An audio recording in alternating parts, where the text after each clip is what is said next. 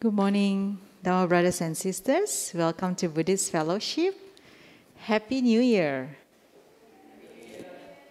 Very good to see everyone back here again. So my name is Ratna and it's so privileged and honor to welcome everyone on the new year. So today we are very uh, grateful to have Sister Sylvia Bay who will be sharing with us some uh, nuggets of wisdom insights.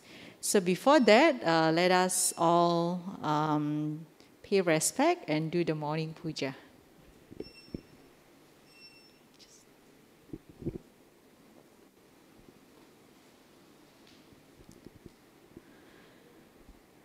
Let us all pay homage to the Buddha. Namo tassa bhagavato arahato Sama Sambuddhasa Namo tassa bhagavato arahato sama sambuddhasa Namo tassa bhagavato Arahato Arahato sama Sambuddhasa. Please put our palms together to partake in the offerings to the Buddha. The offering of the five items allows us to express our gratitude to the Buddha and serves as a symbol to help us remember the teachings. Please join wholeheartedly and read the verses together. Offering of light Light symbolizes wisdom. May the light of Dharma dispel the darkness of ignorance.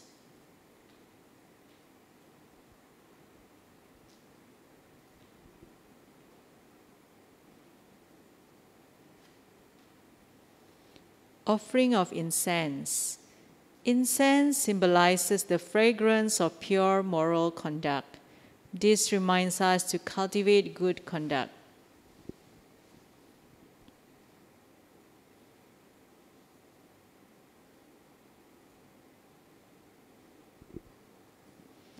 Offering of water. Water symbolizes purity, clarity, and calmness. It reminds us to practice the Buddha's teachings to cleanse one's mind, which is full of desires, ill will, and delusion, to attain the state of purity.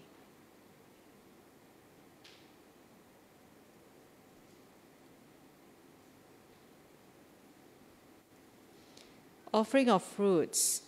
Fruits symbolize the ultimate fruit of enlightenment, which is our goal. They also remind us that all actions will have their effects.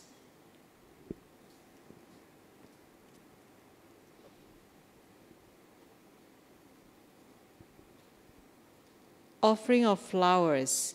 Flowers symbolize impermanence. The freshness, fragrance, and beauty of flowers are impermanent this reminds us that we should all live in the present. Remembering thus, we should reduce our craving and attachment.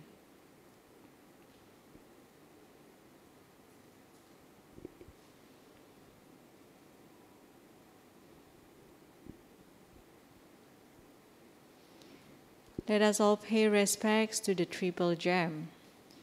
Arahang sama sambuddho bhagawa Buddhang bhagawantang abhiwademi.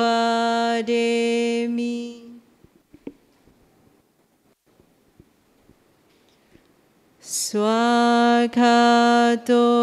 bhagawata dhammo Dhammang namasami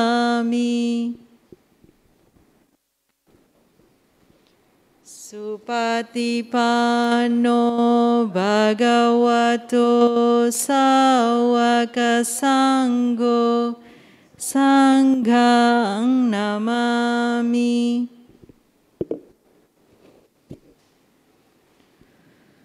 We chant the verses for taking the tree refuge. Budang saranang gacami, damang saranang gacami, sanggang saranang gacami, dutiyampi budang saranang gacami, Dutiyampi damang saranang gacchami Dutiyampi Sanghang saranang gacchami Tatiyampi Buddhang saranang gacchami Tatiyampi Dhammang saranang gacchami Tatiyampi Sanghang saranang gacchami We chant these verses to observe the five precepts. Panatipata Veramani Sikhapadang Samadhiyami Adinadana Veramani Sikhapadang Samadhiyami Kamesu micacara weramani sikha padang samadhiyami Musawada weramani sikha padang samadhiyami Surameraya majapamadhatana Veramani Sikhapadang Samadhiyami Let us recollect the sublime qualities of the Buddha. Iti piso bhagawa arahang sama sambuddho vijacarana sampano sugato lokavidu anutaro purisa dhammasarati Sattha Dewa Manusanang Buddho Bhagavati. Let us recollect the sublime qualities of the Dhamma. Swakato Bhagavata Dhammo Sanditiko Akaliko ehipasiko opanaiko pacatang veditabo vinyuhiti. Let us recollect the sublime qualities of the Sangha. Supatipano Bhagavato Sawakasangho Uju patipano bhagavato sawaka sangho Nyaya patipano bhagavato sawaka sangho Sami patipano bhagavato sawaka sangho Yadidang catari purisa yugani Atha purisa pugala Esa bhagavato sawaka sangho Ahuneyo pahuneyo dakhineyo Anjali Karaneo Anutarang Punya Ketang Lokasati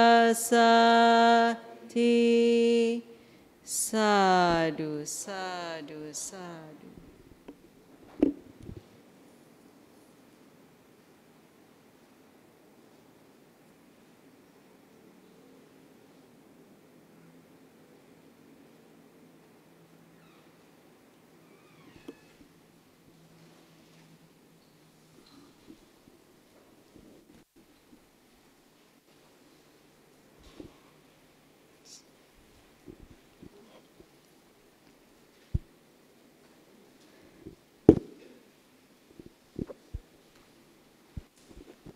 Hi, welcome everyone. So let's um, hear some announcement. So basically, uh, this is the schedule for January Dhamma talk. All right, next week we have Brother Wong Tai Wee who will be sharing on generosity during Buddha's time. Yeah, we also have Dharma Foundation course by Sister Sylvia and Brother Tan Bang Hok. The on-site meditation class has been full, so if you still want to register, you can still register for the Dharma class that will be starting on 26th of February. Right, yeah, it will be at uh, BF West as well as Zoom too.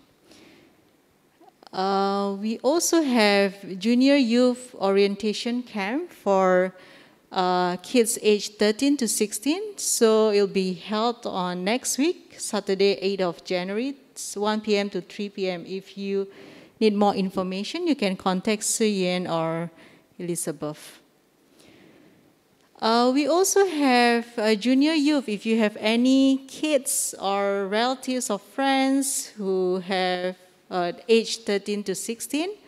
And uh, please bring them along to the junior youth uh, talks every Saturday, 3 to 5 p.m. So we have a different talks, uh, and the sessions is conducted online as well. Uh, for BF Junior, for age 7 to 9 and 10 to 11, we also have a session on the 9th of January and 23rd of January so it'll be conducted on Zoom. So if you are interested or your kids and all that, you can sign up at the Eventbrite. We also have a, a Zoom yoga session uh, by the this teacher Deepa Souza every Thursday, 7:30 to 8:45. So even though it's still ongoing, you can still email uh, the teacher to join the session. And um, yeah, in we wanted to um, raise fund for the BF Dharma home. So if you like, you can actually request to share your favorite sutta so we can record and then upload it in our BF YouTube channel. So any amount will do, not necessary at that amount. All right. And um, okay, we are, uh, the Chinese New Year is approaching very soon. So we would like to encourage you to come and support BF Dharma Home by purchasing some cookies for Chinese New Year. You can also donate it to the home for the less privileged, as well as this, whatever proceeds is, uh, will be going to the, the BF Dharma Home project as well. All right, you can, uh, all the collections will be on site at BF. So if you can see uh, at the office, there are a lot of cookies. So before you leave, please grab one. And uh, we also have Happy Workout, and this is all conducted online. So if you are keen, you can actually register at Eventbrite and you will get the link to the Zoom. Yeah. Okay, and last but not least, we have uh, BF Dharma Home uh, fundraising project. So if you like to support our, um, you know, Buddhist fellowship to get our new Dharma home, uh, please go to the BF Dharma Home website below and then uh, please donate generously. All right, I think, yeah. All right, today we are very privileged to have Sister Sylvia Bay to. All right. Okay, without without further ado, please uh, put our hands together to warmly welcome Sister Sylvia that will lead us in the meditation followed by Dharma sharing.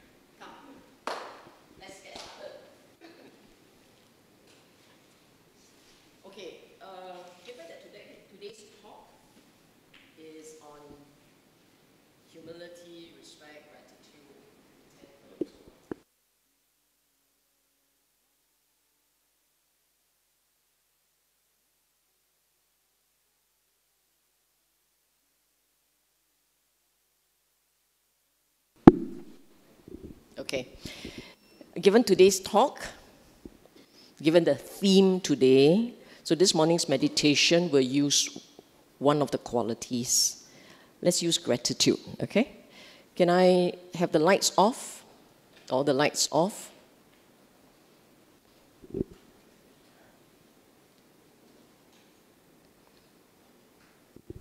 May I invite everyone to sit back, relax, close your eyes, sit comfortably. We have a little bit of a preamble. Just sit comfortably, back upright, not ramrod straight, no need to be too stiff. Just relax, okay? Take a deep breath in deep breath in. Slowly breathe out. As slow as you can. Deep breath in again. Deep in, all the way to your stomach, all the way in. Then slowly release. Deep in again. When you release, make sure you squeeze every ounce, every little droplets of air out of your system. Now do a quick scan of your body. Just scan. Scan from top to toe. Just scan quickly. Observe the body upright. Observe the body in contact with the floor.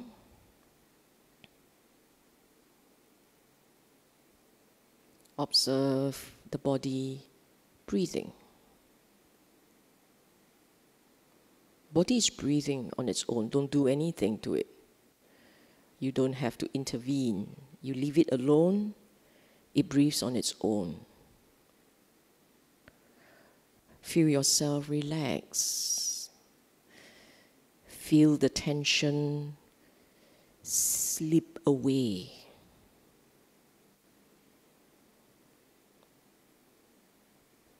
Feel gratitude for the air, the fresh air that your system is absorbing.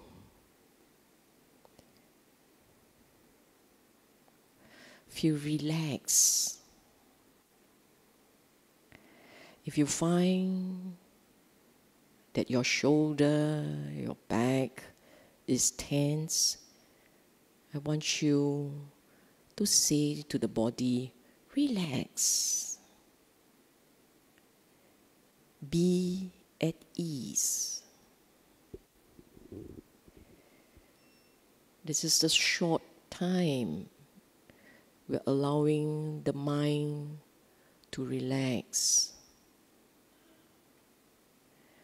to be accepting. You're here in the Dhamma hall before the Buddha, you are accepting. You're content. Content, grateful that in this life you are born a human. Being a human means all opportunities to learn the Dhamma,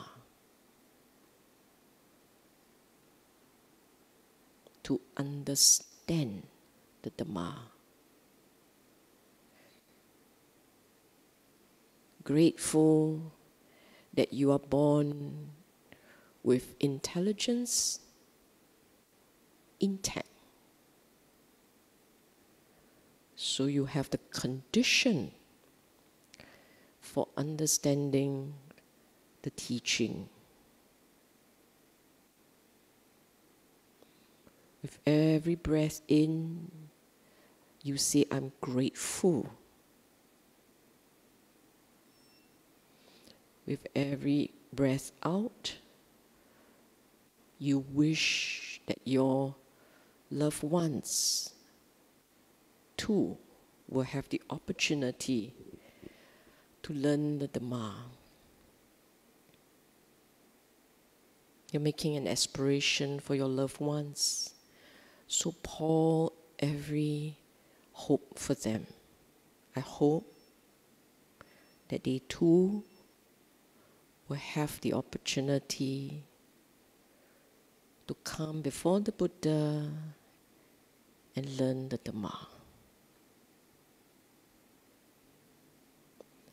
So that they too will experience how the mind feels when it has no desire.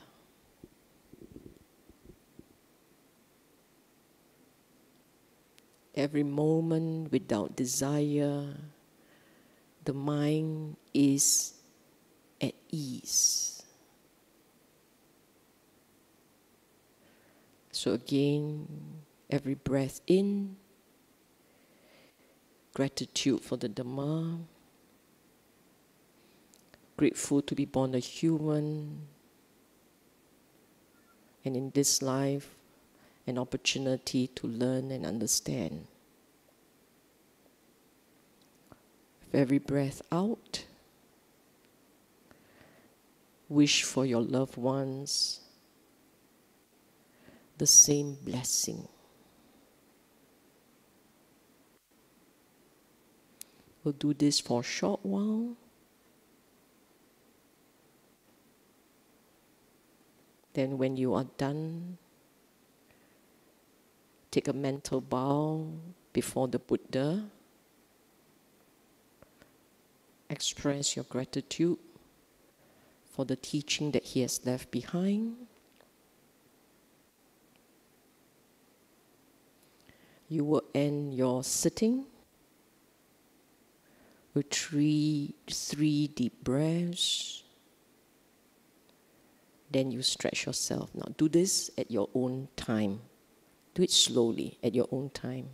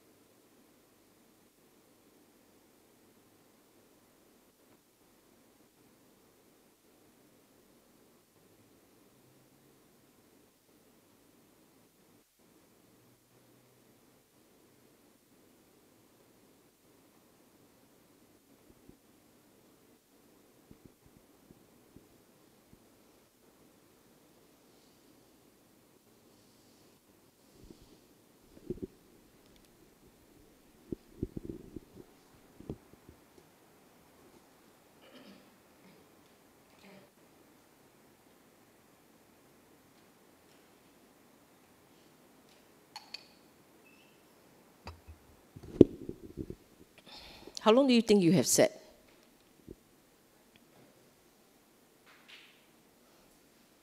It's about almost 10 minutes. Can someone draw the curtain a little? Thank you. Please come in, be seated, be comfortable. Plenty chair here. Come, come. He would love company. Do you like my flowers? They're so pretty, right? You know, I think BF needs to change the lights. Y- your projector a bit dark. Can we turn off maybe the lights at the back? June, the curtain.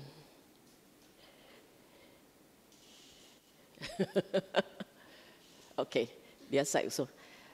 Can you all see better? Is it clearer for you, everyone? Okay, shall we begin? You must be wondering why, what a strange topic. Usually you just pick one and be happy with it, right? Why four? Right? So ambitious. Today we cover four topics. There is a reason for that, okay? Anyone recognizes, anyone recognizes this collection, this galaxy of, of uh, mental states? For those who, who just completed DFC 1, you don't recognize, ah? this was taken from Mangala Sutta. Okay? Normally, when you throw in like a state of a set of mental states, how do usually how would people usually approach this topic? They will say what those mental states are, right? How do you cultivate them? Why are they important? Etc. Etc. Yeah? Usually that's the approach. What are they? They will describe. Then how do you cultivate? Then they describe. Or maybe in the midst of it, they will say, why are they so important?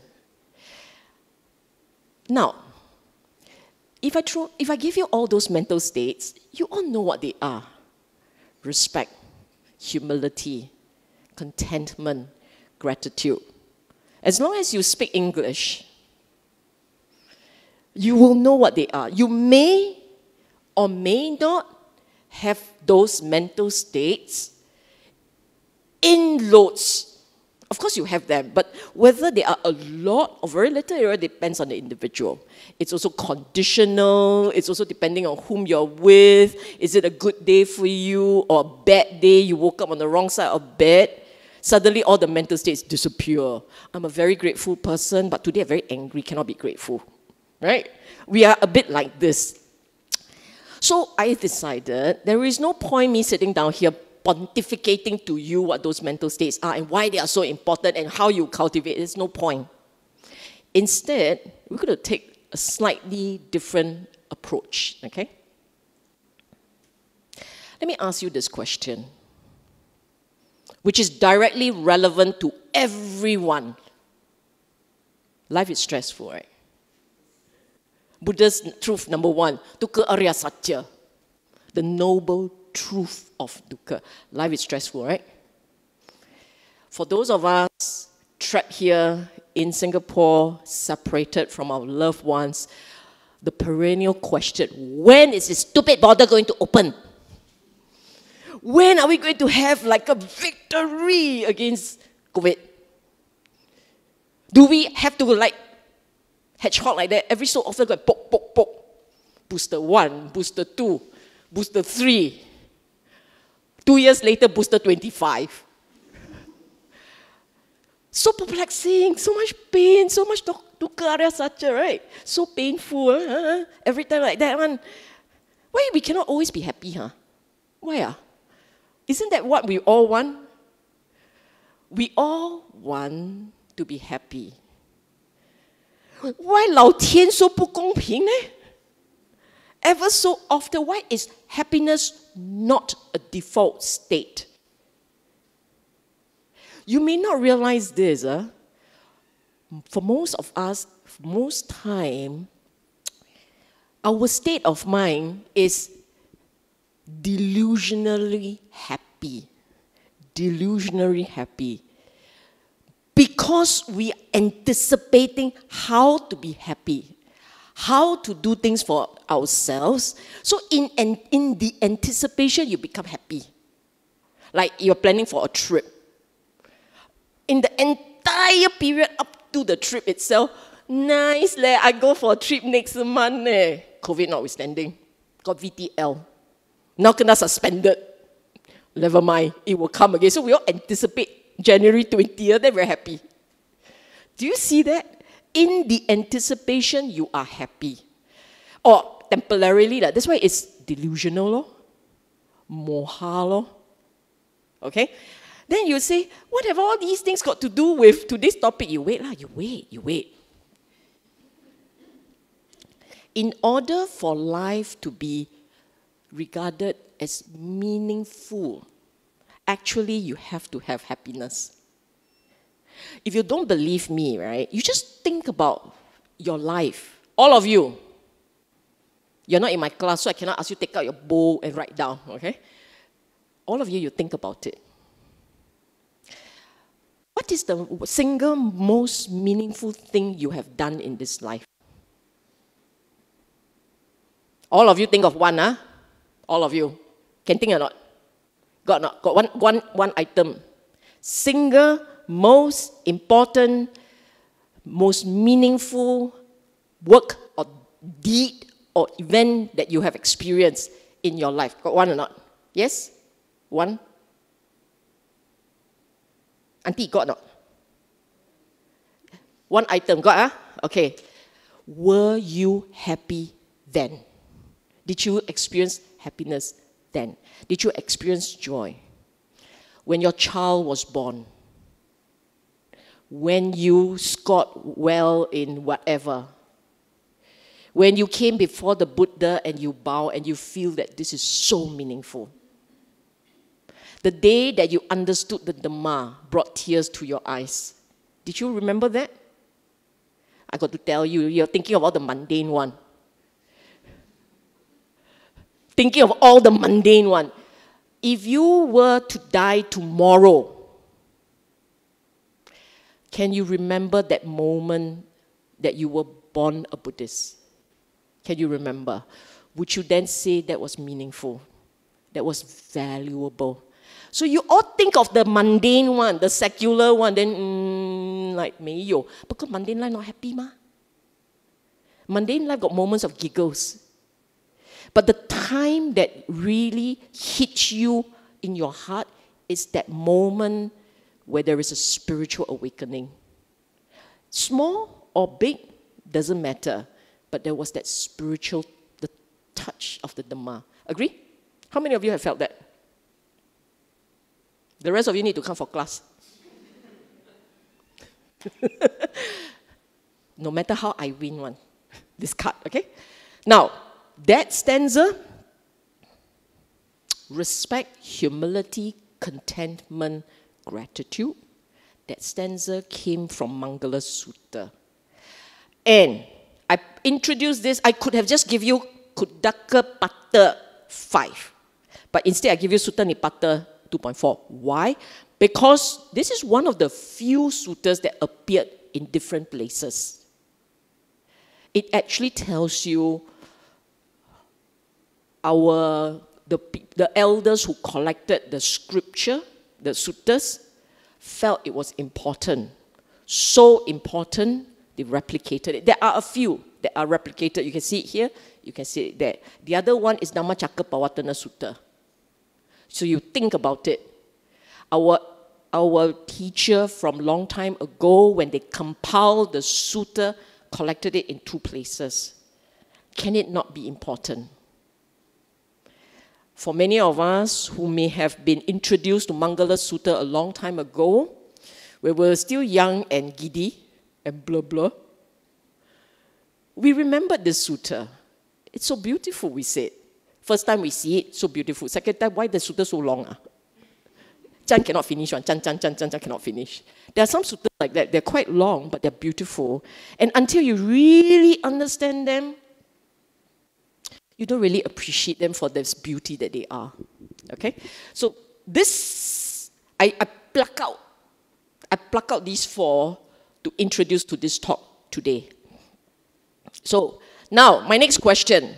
Earlier on we said, why are we so stressed, right? Now I ask you, what are the, what are the times when you are stressed? This is when I miss Eiling. Leh. Where's Eiling, huh? Who is monitoring the, the website Jenny, you're doing it, ah?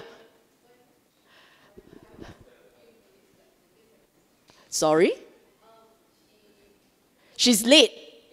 She's coming. She's late. Sorry, everyone on the internet, on Zoom. Eileen will be coming soon. do, do, you think she can make it in before 12.30? okay, okay, okay. Why are we so stressed? You all have no help online, okay? You're on your own. Why do you why are you so stressed? Why you stressed?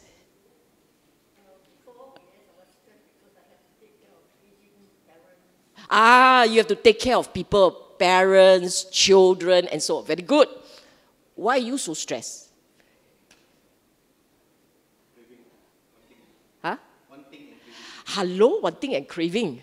Why you and submit up for everybody already lah. Must give others a chance lah. Why, why you're stressed? Someone come up. You mean this is it lah? This is a very happy class leh. If this is all you have taking care of people and wanting and craving, right? That's it. Who's stressed because of financial issues? Debts to pay, credit card to pay, taxation. Who's stressed because of that? A bit ah, a bit ah, a bit ah. Uh. Who's stressed because inflation ah, inflation. Huh? Who's stressed ah? Who's stressed? Uh, a bit lah. I like him, you know, he's so honest. Who's stressed because, ayah, the health got problem lah, ayah, body, body lah, ayah, COVID lah, ayah, COVID lah. Who, who, who? You're not stressed because of COVID ah? Uh, yeah lah, you're so good there, I like you leh. Uh, yeah. Who's stressed because I too fat leh, I too fat. Uh, I got growing fatter and fatter leh, why ah, why ah? Who's stressed because worrying for children, for parents, for, huh? Uh, hey, you must be more creative. Yeah, I sat down there and I thought very hard and I came up with a whole list, you know. Ah, uh, you must be better than me. If you can come up with something that is not here, I say you win, okay? If all that I put down there more than you are, I win. Uh. I spent quite a bit of time thinking about it. It will come out, don't worry. So, come on. Car trouble, aircon trouble, house trouble, leaking, fire, blah, blah, blah, blah. Any more? Any more? Work.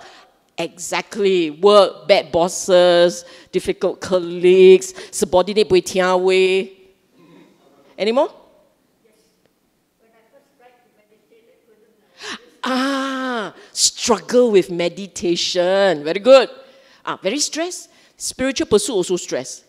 What about those people who have been looking for the Dhamma and go from one teacher to another having different stories? Stress or not? Stressful, right? You say like that, you say like that, then you say he wrong, he say you wrong. Kalama Sutta. Buddhists have their own Kalama Sutta. Eh? Any more?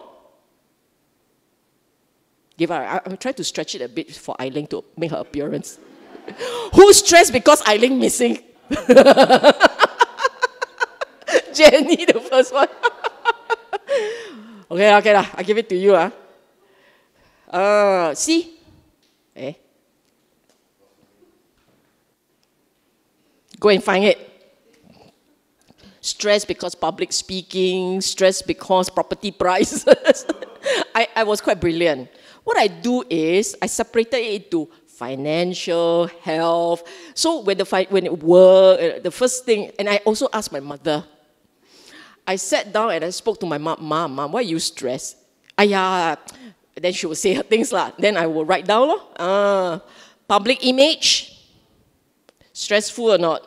You say not stressful. Then why you choose the clothes you wear, put on makeup for the woman? Ah, men don't put on makeup, okay?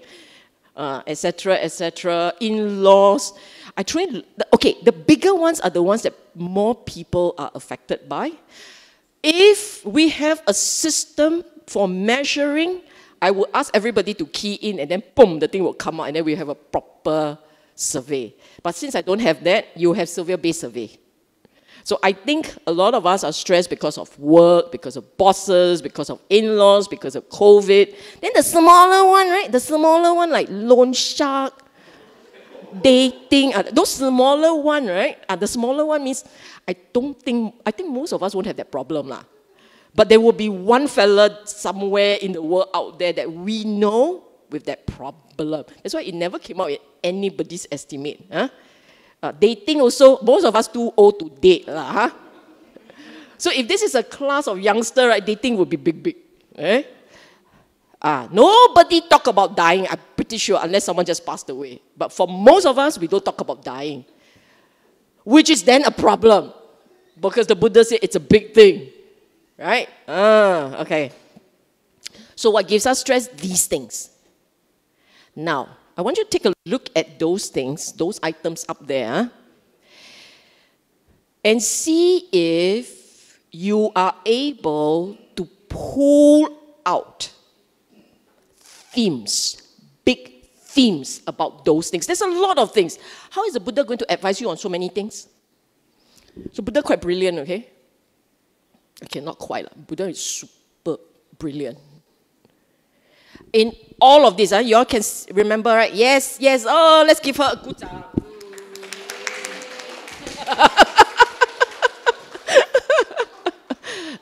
Ladies and gentlemen on the Zoom, Madame Eiling is in. now you all have a voice.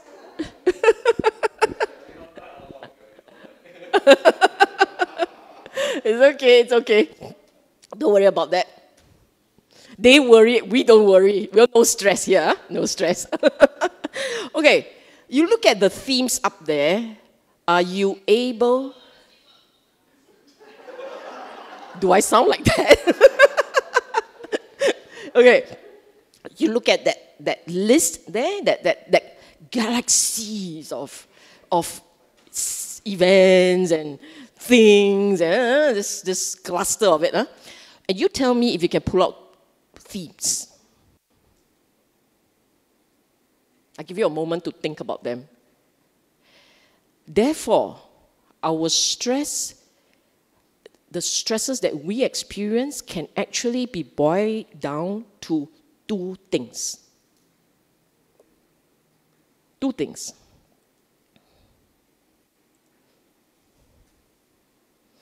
People and situation. Agree?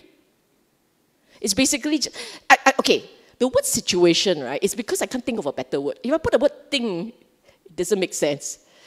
So, what do I mean by situation? Like, for instance, um, health, health issues, children's education, uh, COVID situation. So, it's like situation, events, um, thing, fortune or lack of it. You know what I'm saying? So, so, so that's non-human, non-people related. But one set, one big set is about people. Whether it's about your spouse, your children, your husband, your bosses, the colleagues, the random stranger on the street, etc., etc. It's about human giving us stress. Okay? And then the other one is just situation, event, uh, thing. My English today is limited. Why, when, how do people cause each other stress? You tell me. This is your life. How?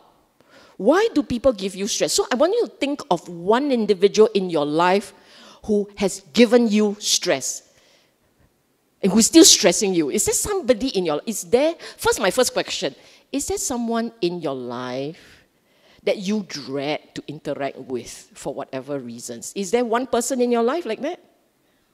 Yes? Sure have one. Don't have you are saying, I see the halo on your head. Sure have one. Eileen doesn't have. Can't you see the halo on the head? Sure have one. It's just that she doesn't take it personally, so she cannot remember. like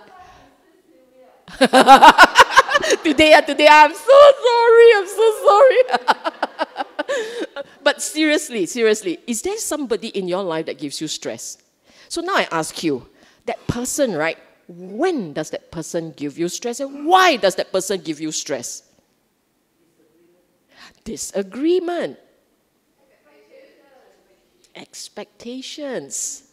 Different expectations. So, voila, scoreboy. Expectations, a sense of entitlement, differing desires. So, therefore, loba dosa. You get stressed, okay? you get stressed in this relationship because in this relationship you have different opinions different thinking but you bring it down to even even the even more of the core the essence it's usually because you both have very different views different desires and if you throw in expectations into the mix i expect that you understand you expect that I understand. Jialat. You throw in the sense of entitlement, you finish. I can expect that you understand, but if I'm, I don't feel very entitled, you can still get away with it. I can still get away with it. But if I feel very entitled, I'm your mother. Eh? I'm your mother. Eh? Why you never listen to me, huh? Ah, die. Not only is the expectation odd, but now she expects, she feels very entitled that I must give in to her. Mother got passport, okay? Mother, father all got passport. They throw in this one, you, eh, I don't know how to argue that. so you cannot say, are your children, eh? are your child. Eh? that one cuts no weight. You still lose hands down. okay. Now, I say either us and or another, right? Means sometimes the expectations is you or your or the person. Sometimes it's both ways. So if you look at the problem that you had experienced, right, when it is both ways, the odds are both are equally very high on expectations, possibly just as high on entitlement. If one side has lower expectation than the other side, less intense views, your differences either can be resolved or can be put aside, can be put on the back burner. So one side, one side must give in, I put it simply. La. Okay? Then you give in too often, they cannot take it already. So this is very conditional and it fluctuates very fast. And it's very seasonal. On a good day, mother doesn't, make ins- doesn't insist. On a bad day, she insists on everything. It's very seasonal, feelings driven. Agree? No wrong, huh? Okay. Agree? Sometime you or the other person at fault. It can be real, meaning the person did take your things without asking. Or it can be perceived. You thought it happened. You ascribe reason. You ascribe motivation. None of it is true. It's all in your mind. Possible? Possible. Otherwise, why you so wronged? That was a joke, which nobody caught. You're too engrossed in this very seriously. It's a fun session, okay? Relax. Huh? Relax. Real or perceived. Agree? I need you to go through this very carefully. Innate or habitual. Sometimes you already have a certain perception of someone, and, and or, or it's you at fault. You are by nature suspicious. It's what my niece would say. You're very sus. Very suspicious. Okay, you are naturally skeptical, naturally cynical, because of whatever events in the past that shape you into like that law. Then, because you are like that law, anybody cross your path, you will treat them macam they are criminal you are naturally suspicious of them. Or it can be, for whatever reason, that person has a problem. That person treats everybody in the same suspicious, cynical, unwholesome way. And so, no matter how you try to convince the fella of your well intention, the fella cannot get it. Possible, right? So, human relationship very complex, yet very simple. It always boils down to the first point there desires, expectations, sense of entitlement. Agree? That's the source of relationship problem. Okay? Now let's talk about situation. Right? Same question. Why and when will this happen? When will a situation cause you stress? and give you pain. Now, when? Ah? Seriously, just think of one event. Ah. You all happy with COVID, right? Everyone very happy with COVID. No, right? Not happy with COVID, right? Why are you so unhappy with COVID? Ah? The virus 得罪你, is it?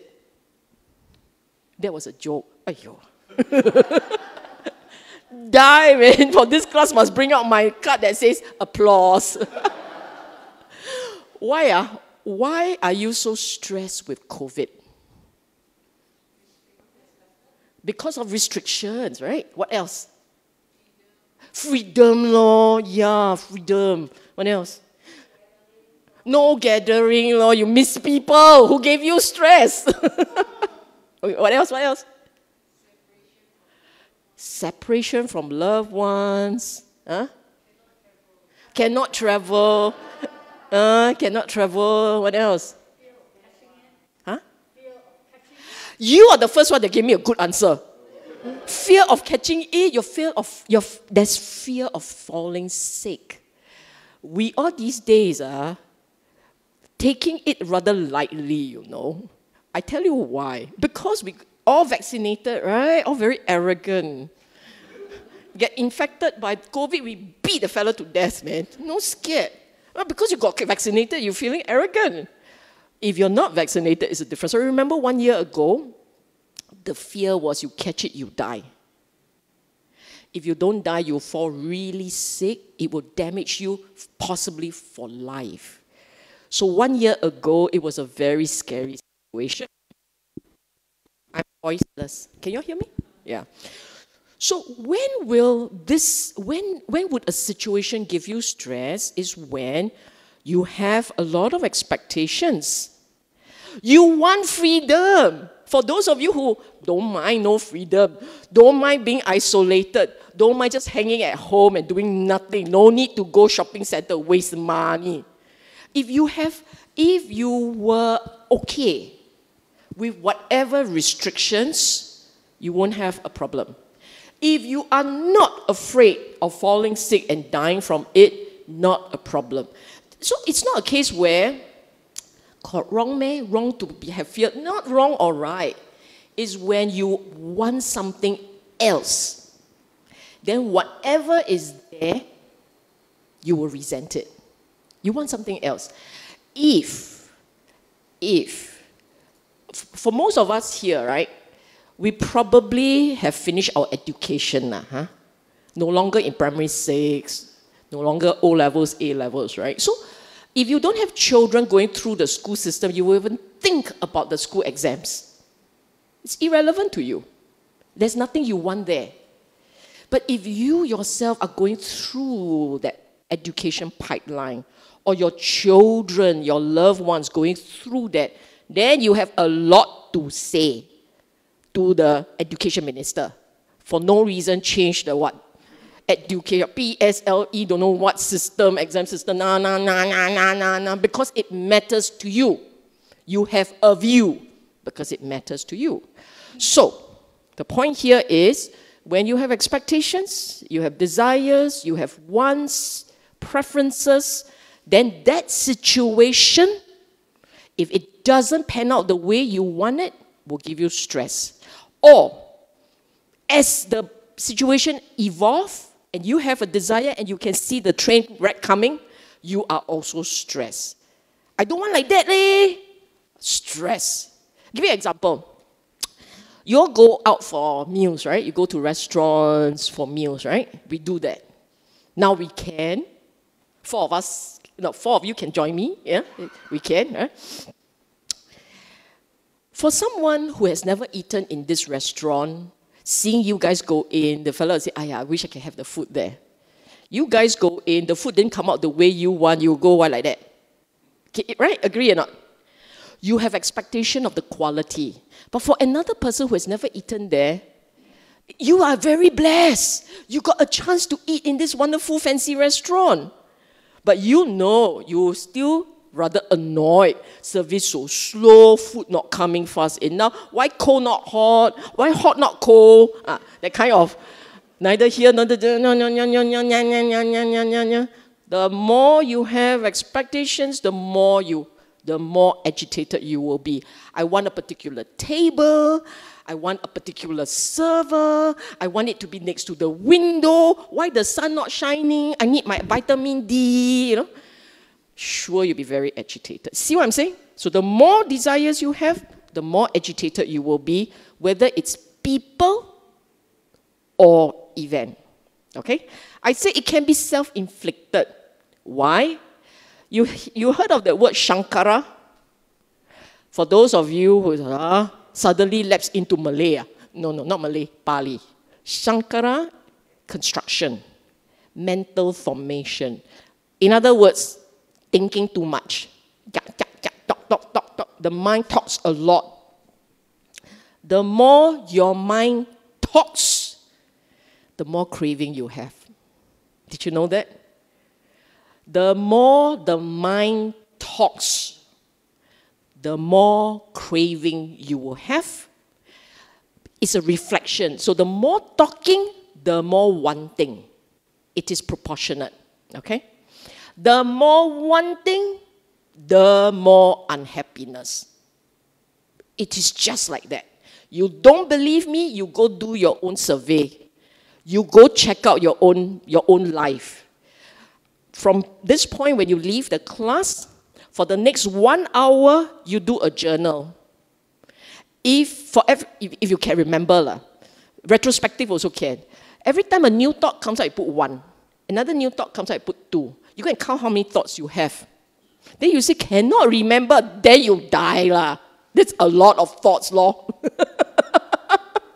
so for those of you uh, who say, I cannot remember, you have a lot of thoughts. I just tell you that. Because if you have one child, you will lose him. Uh. If you have 10 child, you can lose, right? If you have 50 children, you forget their names. Agree? Let's see, one child you cannot forget. So if you have one thought, you will remember.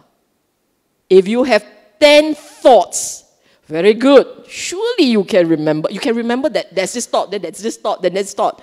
You got 100, how to remember? What, you think I what? Xiang ah? 神仙 ah? Cannot remember, right? So you just remember that. Huh? The more you have, the more. So, all these thoughts, did somebody point a gun in your head and say, cannot think? Don't have, right? So therefore self-inflicted lah. In Cantonese, it's jike lo le soy lah. It's self-inflicted. A lot of this thinking that we go on and on and on, it's an internal runaway dialogue. It's self-constructed. So okay, example, huh? let's go back to example. Example, the dining room. You go into this restaurant, in your mind, you have in your mind, you already decided how many dishes you want to order, and wow, the last time it was like that. Then, ah yeah, then this one, you know what, I'm going to try this. All these are thoughts, right? Can you see how much desires there is?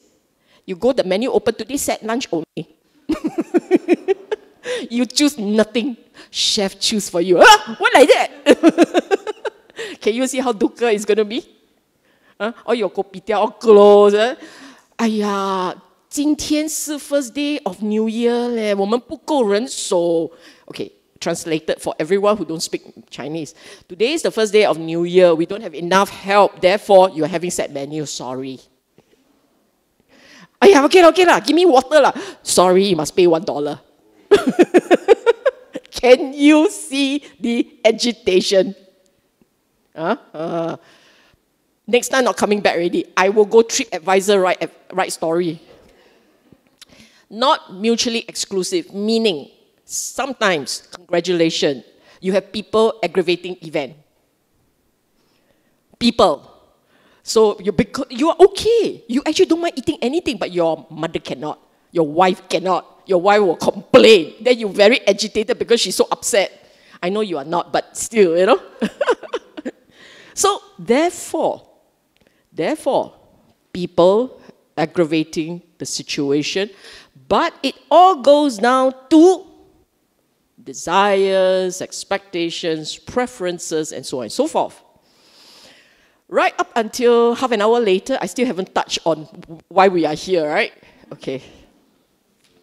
Reducing stress in relationships. So this is where it comes in. Why these four matters. Huh? You must be able to neutralize expectations, unrealistic sense of entitlement, unfulfilled desire. Agree? Everybody agree with this statement. Agree? Don't agree, then explain why. Agree, then must loud, loud say yes. so you all agree, right? It's, it makes sense. If the problem lies with expectations and entitlements and all, then we must bring them all down. Lah. Ah, but it's easier said than done, right? It's easier said than done. You cannot just, I want to be a nicer person. Then, ta-da, voila. Sylvia Bay 201, nicer version. You cannot just like this. I wish and it happens. I wish it's so easy. So therefore, you must cultivate. In other words, you, you, ha- you tackle it by bringing up qualities. You introduce into your mind, your system, you build up these qualities. You build up these qualities, they will neutralize the other parts. You understand, right? Suppose that, think of it this way. Let's say you have a,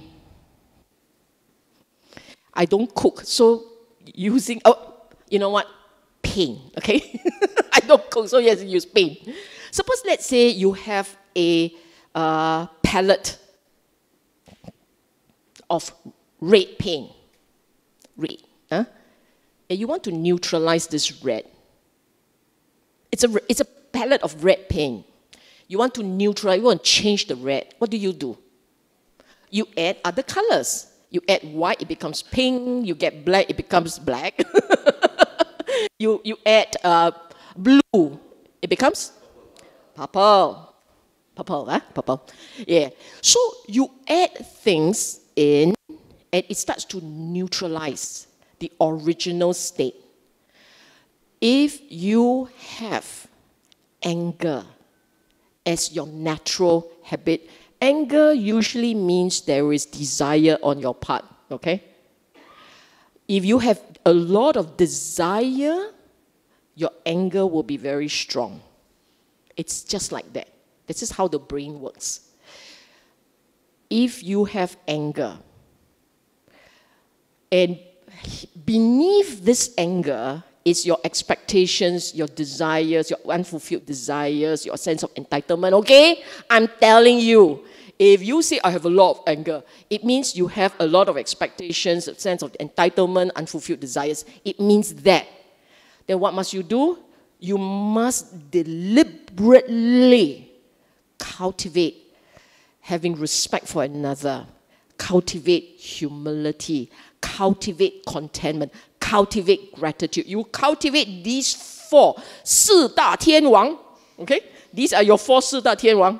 You cultivate these four, it will neutralize. Over time, it will start to neutralize that anger of yours. You cannot neutralize anger by saying, anger be gone. Anger, shoo. Anger go away. Cannot, it won't work. I must not be angry. I must not be angry. It won't work. Then you say, oh, what about Metta? Metta also sits on this four, by the way. Huh? All those wholesome qualities, they form a union. It's called union of wholesome mental states. They come together. You can bring up metta at all time. It means embedded in the metta, these are the four there also. If you say, oh, my metta don't have these four, then your metta is tapake one. It's a seasonal metta. Feeling good, metta come up. Feeling bad, metta disappear. Go on holidays. That's all it is. Okay? So, these qualities, these four qualities are necessary condition for positive, fulfilling, affirming, happier relations. Okay? The punchline is not here. I got punchline for you. Okay, now let's talk about the mental states. Earlier on, I said I won't go into it, right? I bluff you. I'm going into it in detail, but but but I only introduce it after I have explained to you why they are critical. You want to be happy in this life? You want richer relationship? You don't want to be aggravating away at relationship. This thing you can handle. You can do it. Then you need to cultivate. Okay? Let me show you what humility is. Uh. Oh, yeah, sorry, respectfulness. So in these two boxes, it will be respectfulness and humility. Let's go first. It takes two at least meaning to say this word respectfulness is very cute. Of these four, right, two of them are from within that arises. with or without another person in the mix, two of them requires conditions. So respectfulness, having respect for another, it is about relationship. That's why two at least. You cannot like spontaneously, I'm respectful. To what? you think about it. Respectfulness means there has to be a relationship somewhere. Okay? What does it mean when you are being respectful? Now, I want you to think about the person you most respect in this life.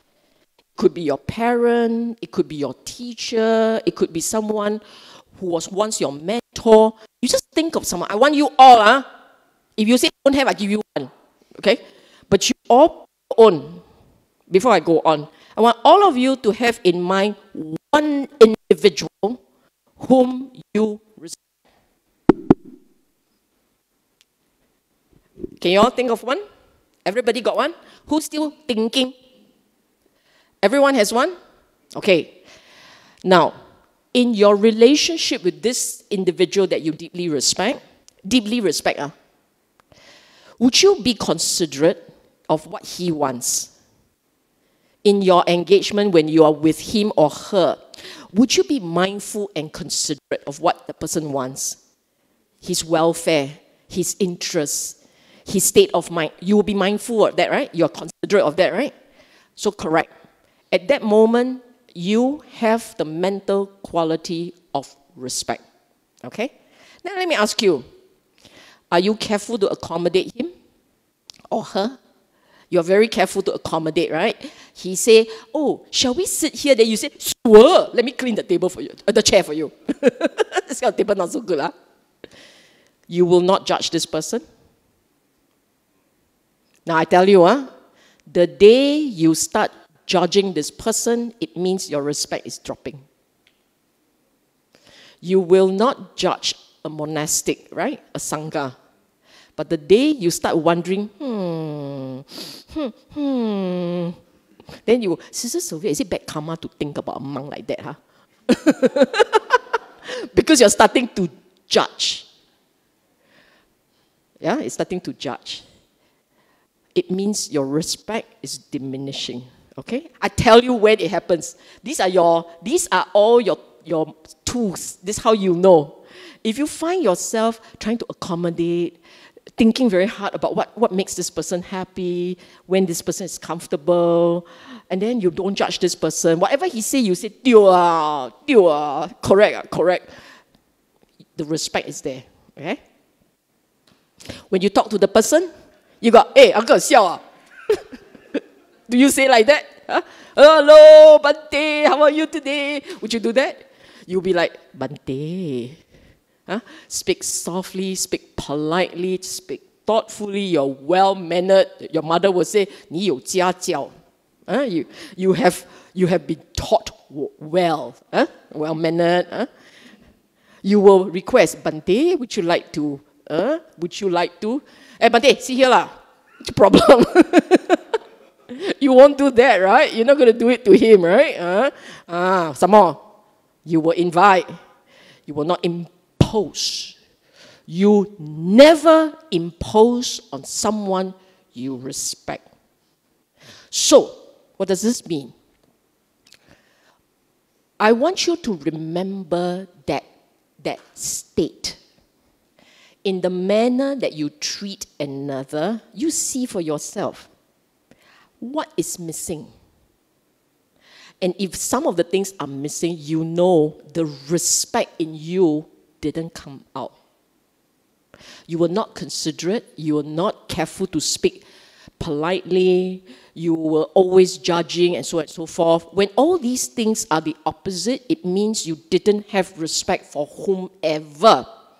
Now, I ask you to place it in your relationship with everybody in your relationship with everyone else. How many of these six are present and how many of these six are absent? Then you will know for yourself is your respect for another, respectfulness as a mental state. Is it high or is it low? You know for yourself. Okay? You will know for yourself. If it is high, if respectfulness is a mental state for you, with you at all time, then regardless of whom you speak to, regardless, you will be polite, you will speak kindly, well mannered. You will not be half the time judging this individual. You will be considerate of the fellow's feelings. You see what I'm saying? So only you know on the score of 1 to 6. Is your score 1, 2, or so on? You know. And my advice to you is make a score so that over time you will know for yourself have you improved or has it gotten worse? Or you are still the same jalat. Okay? Now comes humility. Humility is internal. Humility doesn't actually have to have somebody. You are humble or not. It, it, it, actually does not need another individual there. Humility is a mental state, but it's just there. Okay? And what does it mean, right? It means, first, is the attitude. For those of you who spend your time talking about yourself and truly believing that the world agrees with you, that you are this and you're that and you're that, then you know what? Humility is absent. For those of you who don't really think very hard about yourself, that you're special, and you want to be special, if you don't have that, then at least humility is intact. How strong or not depends. We go down that list. We go down that list, okay? Do you or do you not, are you or are you not able to admit mistake? Meaning you very, if someone say, hey, why, why did you do that? Then you say, oh, sorry, sorry, sorry, my fault, my fault. Is it easy or is it hard for you? Not judging you, I'm just saying, is it easy or is it hard? You ask yourself. If it is easier, there is humility. If it is harder, humility at that point, very shaky, if not absent. Okay? You don't get defensive when you are being corrected. There is a willingness to learn, open mindedness to learning. These two are connected. Huh? If, if you are very instinctively very defensive, you will not admit mistake. You will fight till the cow comes home, deliver the milk, deliver the calf, and still you will not admit mistake. Okay? And what it means is this inability to learn. That's the cost to you personally. And this is important state because the Buddha, when he's talking about good disciples, one of the things he talks about is the humility, easy to correct. That's, the, that's how he used it. He said it, okay? And gratitude comes naturally. So you can see they are a bit. You can see that there is humility, you'll be respectful. There will be the gratitude. Because humility means you are happy whatever is given to you. So no expectations. Huh? You are gracious. You will take the time to say please and thank you. For those of you who think that saying please and thank you is not cool, I will tell you you are not cool. You need to be cooler, okay? Again, you are not judging, you're accepting. So you know for yourself what's lacking and what's not. I very respectfully and humbly wait for you all to finish taking picture. Okay, I move on. Huh? Later on, we will give you the slides. BF, in its internal wisdom, will give you the slide. Okay? Contentment and gratitude are mutually reinforcing. Again, okay, this is the one. Contentment is a natural inner quality, it's a mental state. which arises within, it's unconditional. It does not have to depend on the situation to be there. So, what you should do is to look at your own mind, right? And see if you can recognize the mental state of contentment. It's a mental state, it's very subtle. It's very, very subtle. It's just in the corner of your heart, quietly there, doesn't surface until you're agitated. Then, when you're agitated, you know contentment went to hide it's not there. But if it's never, if you're never agitated, then you know contentment is really a, a natural state for you. Okay? No expectations. So this is this is I don't have to explain. Uh. Contentment means you are more accepting. More accepting. Okay? Easily satisfied. This part you may not know little need to control the world. You say, I never want to control the world. Okay, let me ask you.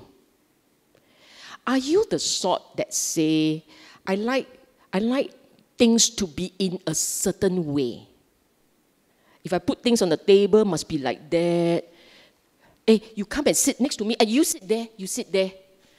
Uh, can you like, don't sit there, you sit there, the feng shui bad? Are you the sort that is very particular? Are you very particular? When people are with you, you do you have rules? The more rules you have, the more particular you are, the less contented you are. That's how you know. For those of you who say, I'm easily contented, hey, you, why you, that sort, right? Delusional level, delusional quotient very high. I'm very contented, but I have, uh, these are my 360 rules. That you fulfill all these 360 rules, I'm very contented. Your need to control, to shape your environment, shaping your environment, transforming people, changing the world. That's what it means. Maybe I should change the words. Controlling the world means you are trying to shape the environment according to your desire. Okay? It's what people will say, "Bui chin cai lah." Uh, you are contented, You're very chin cai. So we will have a new quotient for you, the chin cai quotient. The higher your chin cai quotient, the more contented you are. Okay? And when your contentment is high, your mind is not constructing all the time. So, for those of you who tell me, I'm pretty contented, eh, but then my mind flies all over the place. They don't go together, huh? When you are really contented, have you gone for retreat? Huh? Have you all gone for retreat? You go for retreat, and at a retreat, you don't have a lot of thoughts, right? You're actually quite easily satisfied. That's contentment, and that's how the mind will be. When you're contented, the mind doesn't think a lot. You are in the present. Why do I say constantly seeking improvement? The two and three are connected.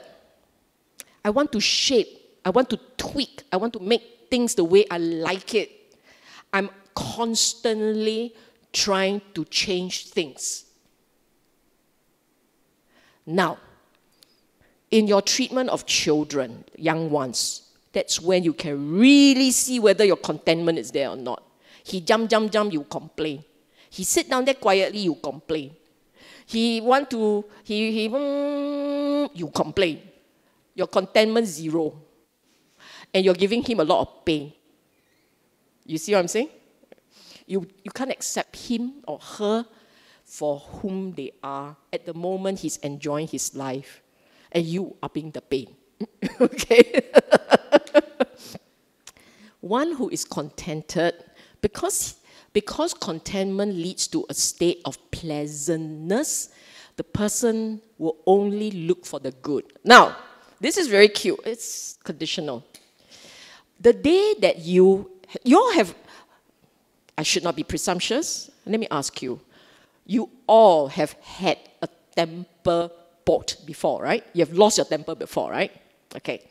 At the point when your anger was up, can you see, do, do you see good or do you see bad in whatever you're dealing with? Bad lah, yeah. Sister Sylvia so stupid, ask stupid question. Huh? Yeah. See, bad lah. If you're contented, you're happy, right?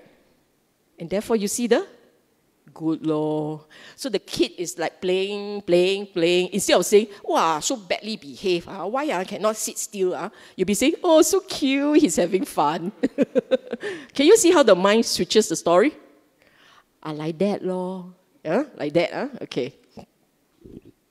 More flexible, more open-minded, less skeptical. Again, less judging, okay? Less skeptical and judging. A contented person will always be peaceful and happy. That's all. That is your third noble truth, cessation of dukkha. Okay? Now, gratitude. Finally, ayo, so long-winded. Finally, huh? Gratitude must always have this interaction. You are, you are grateful for someone, you're grateful to someone. You're grateful for this, you're grateful about this. I, am grateful that the Buddha left behind the Dhamma for us. So, so gratitude, right? At a start, eventually gratitude can be a state of mind, so it's inherent. But at the start, right, it has to be towards something. There's a relationship there at the start. Okay? Eventually, when it's such a habit in your mind, you're just gratitude, you're just grateful. It can happen. So this is the unique one. Okay? And when you have gratitude, right, the stronger it is, the more you feel unworthy of the blessing. Why am I so special that I can be like this? It's just a state of mind. Lah. Not that you have to, but this, the point here is there is humility.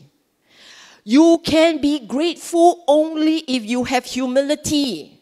You don't believe me, you think about the people who are proud. They're very grateful people, not? Think of someone you know in your life who is arrogant, who is proud. Do they have gratitude? You ask yourself. Think about it. Huh? Think about it. No need to give me the answer. I know I write one. You just think about it. Okay? Thinking about it is for you to realize that the Buddha's teaching about these mental states are extremely powerful. It helps us to manage relationship beautifully. So don't take his words as, I know already, I know already, I know already. You, I know already, I know already means you got no humility. You're not respectful to the Buddha. You never pay attention to his words. Oh, like that, okay. So you have to, you sit down there, every time you look at his words, you tell yourself, I don't know enough. Let's just look at this with a fresh pair of eyes, just fresh eye, look at it. And then you learn something in the process. Because because his wisdom is so deep and so profound. We only spend a bit of time examining it. How can we reach that level of depth? So we must keep going, keep doing it. Okay? Now, next one. Let me ask you for those of you who, when that sense of gratitude arises, huh, at that point, did you have this sense, I must give back, I must do something? You do, right? How many of you have experienced it before? That you just have to do something to someone. Huh? That's gratitude. When this thing comes up, the stronger, the more intense it is, the more you want to give back, the more you want to serve. It is natural. If you say, uh, don't have, leh, you sure that thing is called gratitude or not? That would be my question to you. If you say, I don't have, a, I don't, there isn't this desire to serve, your gratitude like missing one wheel. Eh? It is not strong enough. When it's not strong enough, that compulsion to serve will not be there. Okay? Gratitude and contentment is symbiotic, they come together. Now, then you say, hey, I've got a lot of gratitude. Am I easily contented? Yes, to a certain extent. So, sometimes people's gratitude is seasonal, conditional. So, at the point when there is gratitude, at that point when there is gratitude, the contentment is present. When the contentment dissipates, gratitude can also fizzle out. Can you see what I'm, do you see what I'm saying? They say, I'm, I'm a very grateful person. I see. Correct. Which means that at the point when you are feeling very grateful, there is also a sense of peace. There's also a sense of contentment. It's just like that. We have not reached a stage where these mental states are effectively packed in your brain. We are still cultivating. So you cultivate to a certain degree when they are now permanent residents, ah, huh? PR with passport type, huh? Then you are fine. It means your natural instincts now very wholesome. You don't have to worry about getting angry. It will angry. Instead of girl, with self volcano, woo, woo, woo. Generally, you also be like, whoo, ah, fireworks on a New Year's Day during COVID time. huh? So just remember, okay?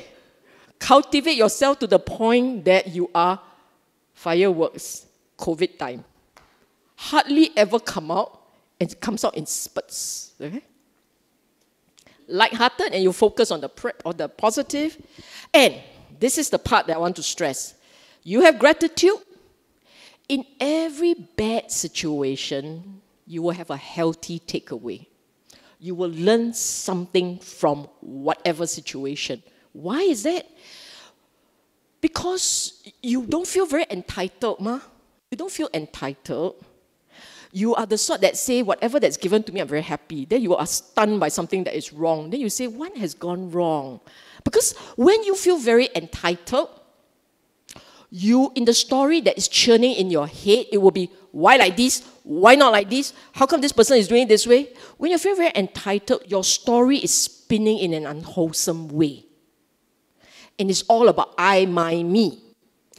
When your mind is with gratitude, the story that is spinning is a wholesome one. Oh dear, something I did wrong? I must learn from this. Something like that. Lah. Okay? So these mental states, go home, memorize, spend a bit of time reflecting on how it affects you. Okay? Summary on part one. Cultivate respectfulness, humility, contentment, gratitude. Given, ah, no need to repeat. Moderate expectations and eradicate, eradicate sense of entitlement. So you want to reduce problems in a relationship, you must cultivate these four mental states. You must learn to moderate your expectations, which, which will help you moderate your expectations, reduce the sense of entitlement, okay? Ah, be considerate, be generous, be empathetic. You avoid imposing. So these are words. These are words that, this is the one I want to tell you. In whatever stressful situation, the main thing to fix, to solve, is your mental state, not another. Most of us tackle it in the wrong place. We try to fix the other person to our expectations. Then you say, but what if the other person is the problem? If you learn to see things from his perspective and you learn to walk away with understanding that he's in pain, you reduce more pain for yourself. You feel sorry, you feel empathetic. This person is struggling, he has a lot of problem. You walk away. I will bring you to Mangala Sutta number one. Asevana ca balanam. Do not associate with the fool. Walk away. I, I cannot walk away, then you are the fool. You cannot walk away means you are the fool. Right? Then you say, yeah, but then what my husband also can, ma? You every day stare at him, eh? Just stare at him, eh? 24 hours a day, you probably don't have to stare at him 24 hours. Right? I mean, he has to work and, and so on. So you, you really, there is no, unless the fellow is a baby. Baby, then somebody has to be with the fella all the time. But most cases, you don't have to be. You minimize contact. And while you're minimizing contact, you keep fixing your own mind. Bring out the humility, bring out the contentment, and no, no, no, you, you cultivate these mental states, you will learn to judge another less harshly. You learn to judge less, you learn to minimize your own expectations, you moderate that. Then the next time you cross path, it's not so painful. Okay? Slowly lah. You think the fellow is werewolf, ah? only a silver bullet, that's it, solve the problem. There's no werewolf and there's no silver bullet. You have to fix your own first, okay? B. Wait, I take a drink first.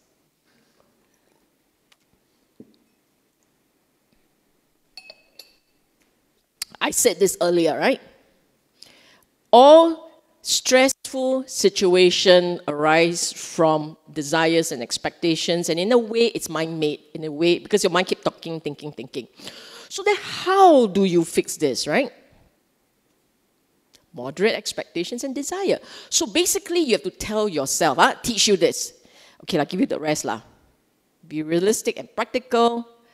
Be prepared to make trade offs. Many of us in any situation when it's high stress is because you refuse to budge. It has to be like this. I want it this way. If you are prepared to accommodate, compromise, make trade offs, be practical, right?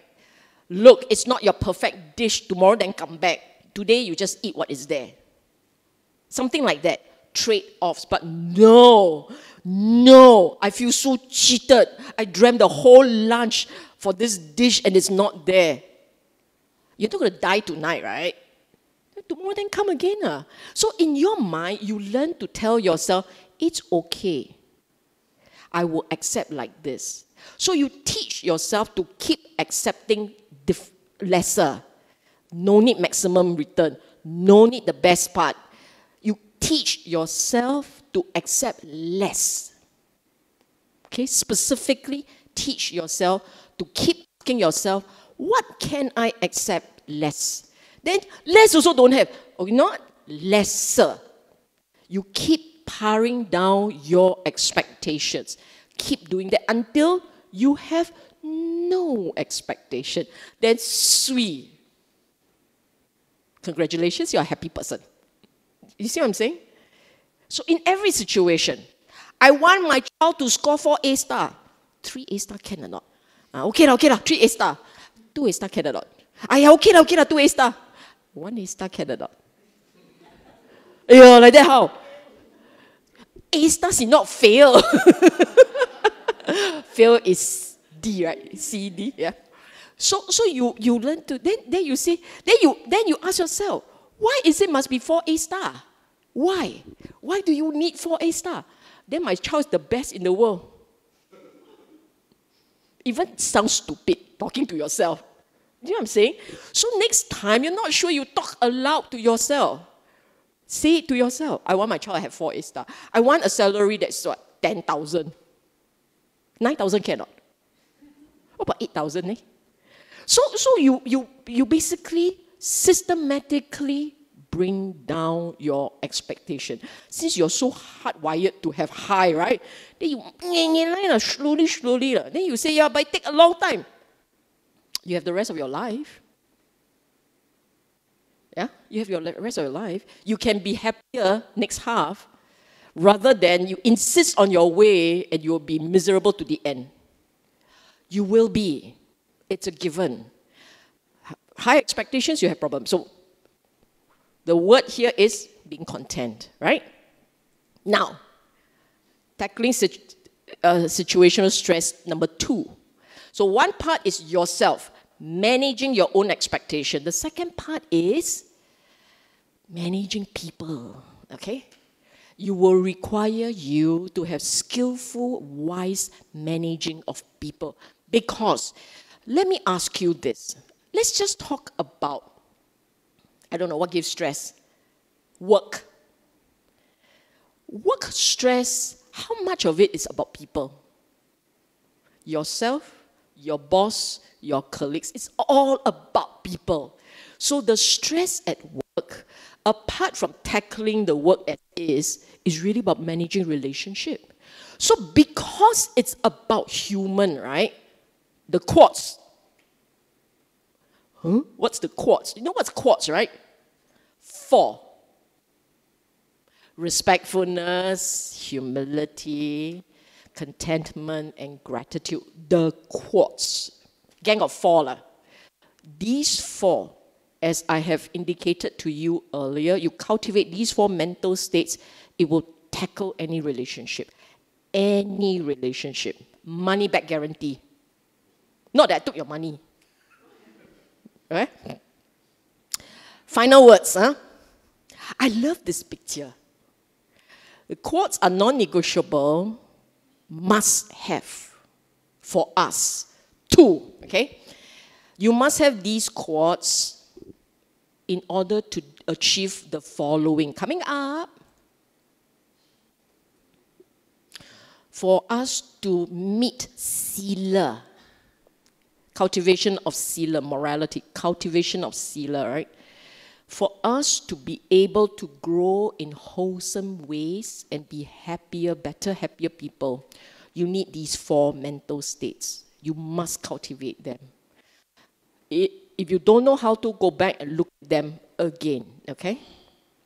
Number one. Number two. By now, you're quite clear.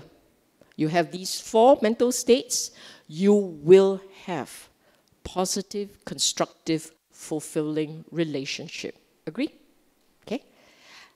And because you are a happier person, you will then feel that your life is meaningful, rewarding, satisfying. At your deathbed, you're not going to say, one hell of a wasted life. You won't say that. You'll say, eh, hey, that was a good ride. Hope done enough for the next good ride. So you are like in Disneyland and not in some Elm Street ride. Okay? To be able to meditate. For those of you who are think, talking about meditation, there are three parts to it. To be able to meditate, to have that stillness of the moment, meaning there's mindfulness, ease with ease, effortless mindfulness to have the most profound of spiritual experience. And finally, to be able to grow in the Dhamma, to have periodic awakening insights, to have that confidence as you travel this Dhamma journey. So you will think that this should be the last slide. No, I got one punchline. you have the quads, you have a good, blessed life with a deep sense of well being and happiness. So it's New Year, ma. It's a New Year, right? Uh, na, na, na. And therefore, voila. have a happy New Year, everyone. Happy New Year, Happy New Year. Okay, now comes question answer. This is the boring part. okay, anyone? Yes, please. Anyone here have any questions?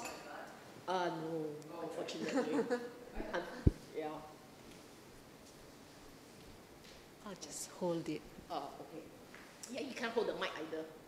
Huh? She must hold the mic for you. Oh, okay, okay. Oh. like stressful situations, like, you know, okay, when you're stressed, you're angry, and you apply these four qualities. Like, oh, you cultivate these four qualities. Um, but if you're stressed because you're worried, you're scared, so somehow or other, when you're angry, the I is very big.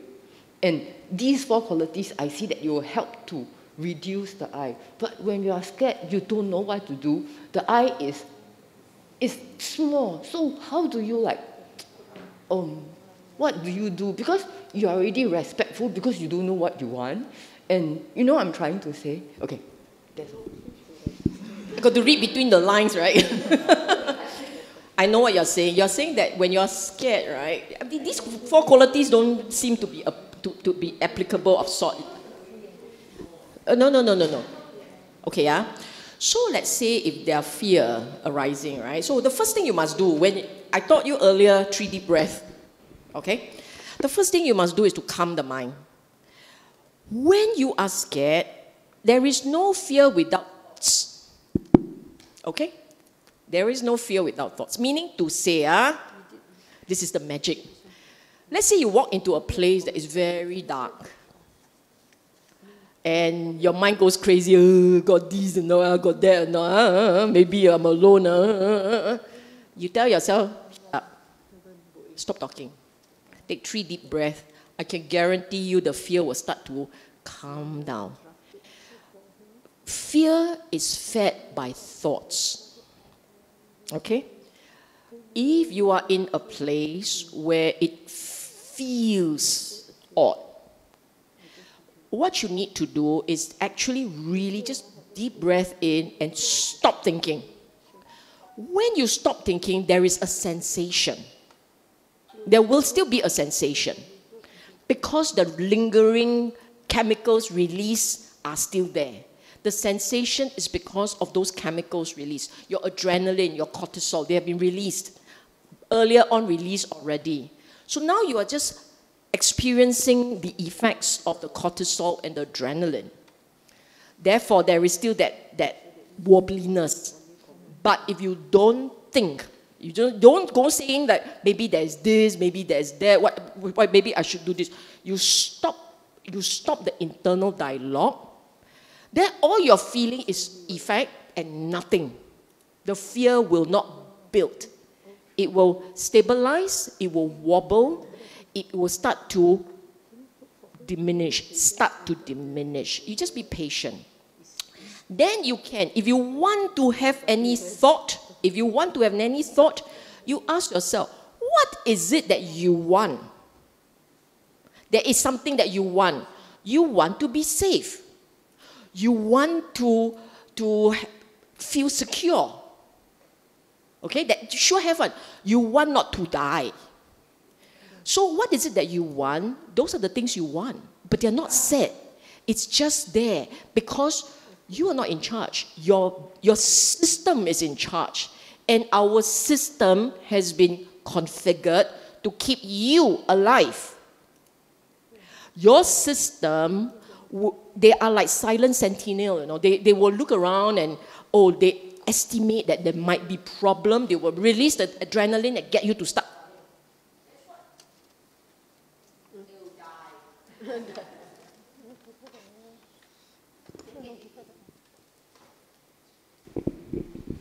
It still has light. Time for BF to buy a new mic. Eh, eh, eh. So your system has been configured to keep you alive. You understand? So every time you are frightened, right? Take your three deep breaths to calm the, hormone, the, the chemicals down. Stop talking. Be very mindful. Make sure that the words that are blabbing away stop. Then you will feel the lingering effects of the earlier released cortisol and adrenaline tell yourself, it's okay, it's fine. The mind is starting to calm down, and you must quietly walk out. This has nothing to do with the quads, okay? The, then you say, but, but the quads, it can help if you can tell yourself, I'm happy with this life, it's okay. I don't, I don't wish for more, it's okay. I have faith in the Dhamma, it's okay. Something like this it can tackle it. Now, if let's say your fear is with regards human, for whatever reason, then you tell yourself in this relationship, I will be respectful. I will not get defensive. Humility, no defensiveness. Whatever he wants to say, just let him say. I'll be respectful. The guy has to be a pathological madman. Uh, to when someone speak to him with respect, with humility, he still want to beat you.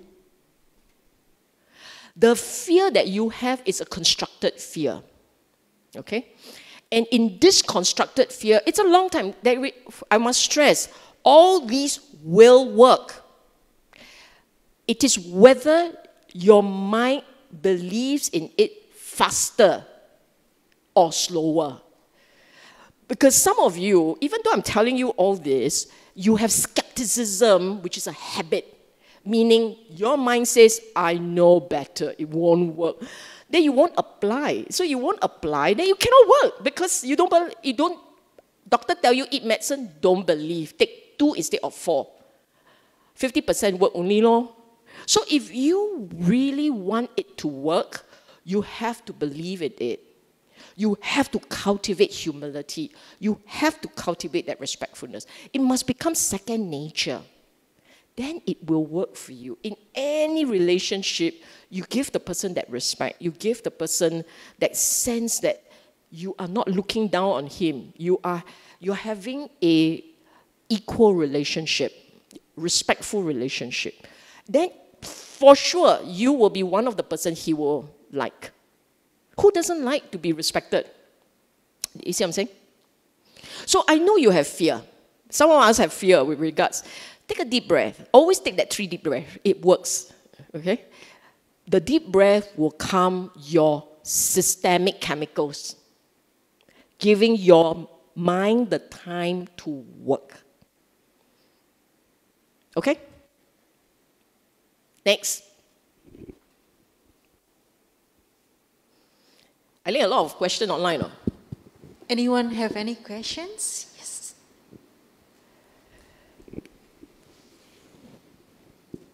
Uh, hello. Uh, hi, Sister Sylvia. Uh, I have a question about well, one of the stresses. I think, as you said, many people have different stresses. So, in times of COVID, um, maybe family or work um, are more focused upon, where you know we can't travel, etc.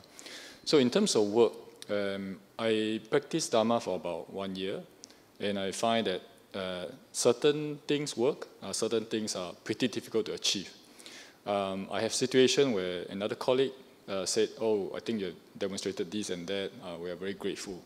But there are some situations where, uh, in maybe a higher stress work environment, in say banking or corporate life, is there are many objectives and the system is just stress. So how do we balance practicing the four pillars or codes, as you said, versus trying to help the company achieve what they traditionally want to achieve?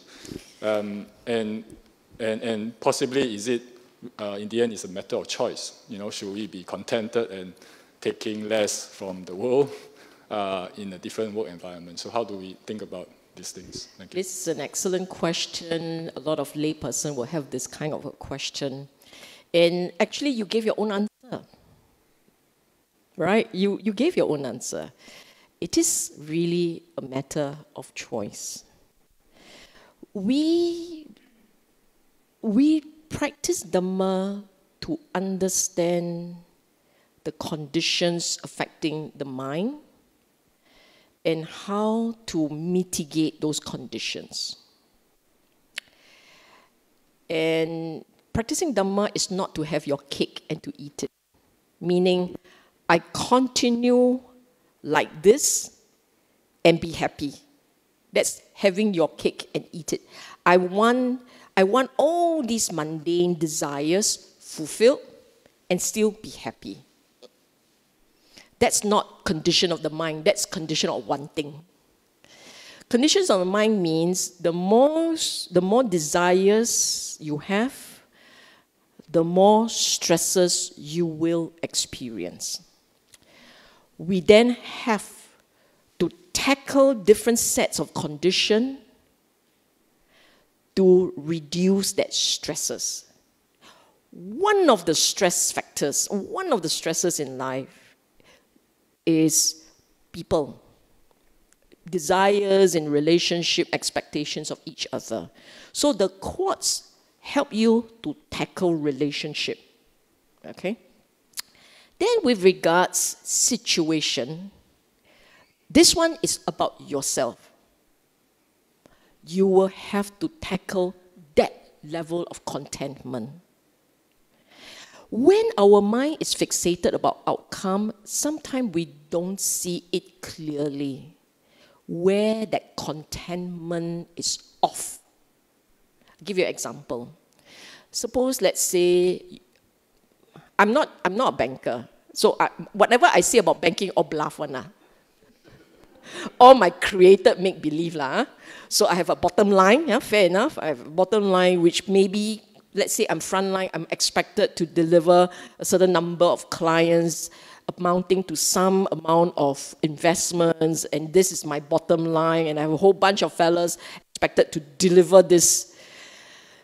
If I want the money and the recognition and the accolade from my company at, at my bank at the end of the day, if I want that, contentment has to go. It's just like that. But if let's say I say, you know what? We'll leave it to the condition. We just try our best. We just try our best. And if we don't meet it, we don't meet it. I apply for change job. Something like that. Then you say, not very practical. You Buddhists, right? We are being practical. You want to key xiao? Or you want to key? oh, no, no, actually, you key and you go xiao. Basically, you must, you, you, you, then you recognize that with the demands that you have, it's inevitable there will be that stress. Then you tell yourself, I will continue to do my best. I'm, I'm teaching my mind not to have too much hang up about outcome. I'm just going to focus on two things. I'm going to focus on just doing my best. And number two, looking after people. The team that I work with, I'm going to look after them. I'm going to set myself as a role model on how you can survive in this very difficult life, difficult world. Very high charging, very high expectations. I will help them cope. So your KPI has changed. Your KPI is no longer the bank's bottom line. Your KPI is looking after people. So difficult. It's change. And what does it require of you? Change in mindset, change in narrative, change your story. You write your own story. So your story is I'm content if one member of my team understand and is able to survive and thrive. My KPI is one member of my team. Then you say, I'm not leader. One member of my team mate. You see what I'm saying? So when you change your focus from an outcome that you want, or rather the company wants, to an outcome that you can live with, that gives you meaning. The stress is changed by your own doing. Okay?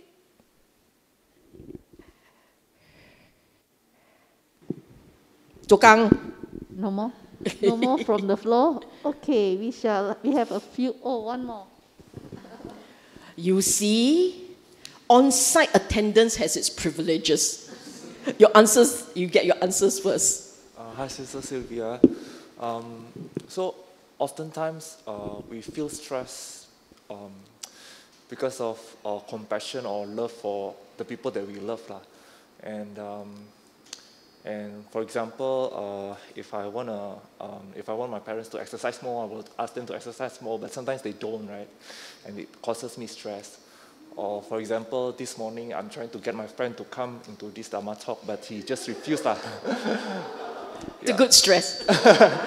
yeah. So um, it's it's almost crazy to think that uh, uh, exercising or association to the Dharma is bad for the person, right? So my question is, how, how do I be contented with, um, with, with, with my expectation of what I think is good for the person? Of, yeah. Okay, very good question. You know, expectations can be expectation of results, which most times we are, because we're very Singaporean. Uh. You're Singaporean, right? You're Malaysian. We're very Malaysian. Uh. we're very human. We have expectations of people. Actually, You have expectations of results. I want them to achieve this level of fitness. I want them to do this, this, that, because it's good for them. No, you shouldn't have expectations of yourself. That's all. I want to be a good person, and I will provide the opportunity. So this is tackling one part, and there are two parts to this tackling. So one part is tackling your own thoughts. You tackle it by changing your endpoint. Instead of saying, he, my parents achieving this level of health wellness, physical wellness. Your point is, I want to spend time walking with them. Come, come, let's go shopping. Surely they will go shopping. So come, let's go shopping. Let's go. You want to bring them to do things. Don't get them to be in charge of their own outcome. You really want an outcome, you got to bring them. Okay? So he said, let me walk with you. Let's spend time together. So instead of exercise, it becomes spending time together. That can help you to overcome their resistance to the idea of exercise. It's very tactical. But the bigger point is really changing your own KPI. As I've said to you, KPI means what is it at the end point that I want? Is it an outcome you cannot control or, an, or, or a, something that you can control? So, what can you control? You can control whom you share information with. Then, what people do with the information is people's choice. You focus on just providing the platform, providing the opportunity. Then you must tell yourself, I have no control over people's choices. Don't put that as your KPI. If you can't stop yourself setting goal, then choose a goal that you can control outcome, not the end goal where you cannot. So in any situation, there are always two parts. There is you and there is someone else. The you part you can set. The someone else choices you cannot control. Don't try and set that as your goal. So example, huh? I will tell someone I love, I hope you will do well, and I really hope they will do well in their exams. And you will provide them with the learning environment during your exam. The house is not watching TV right next to you. Uh, I will maybe prepare what nutritional soup. Not that I do, but I'll prepare nutritional soup. I will do those things. But it comes to the final result, I have no control. Even whether or not the fellow wants to say, I have no control. I can only support you to a certain point, but the actual outcome, conditions. So contentment means you're teaching yourself to accept condition, accept the part, the huge part you cannot tackle, people's reaction, people's decision, all the foolish ones and the wise ones. It's out of your hand. Then what can you do for them? You can slowly, slowly explain to them what's great, what is good. Slowly, slowly, you have that opportunity to share. Then, full stop. No expectation. You share. And full stop, no expectation. Then, if you are a good role model, others will be interested and they will follow you over time. Okay? It's never immediate. So, takeaway number one pick the angle you can control, not the one you can't. Make it immediate circle, just within your space. I just provide the condition, I give you the ideas, then the rest, conditions, not your choice. Okay? So moderate your your expectation, moderate your angle. Maybe fine. Thank you, Sylvia. We have three online questions. Uh, Sis Namo Buddhaya, Sis Sylvia. How do we equate chai with discipline? Depending on where you put your chai lah. discipline is what you impose on yourself.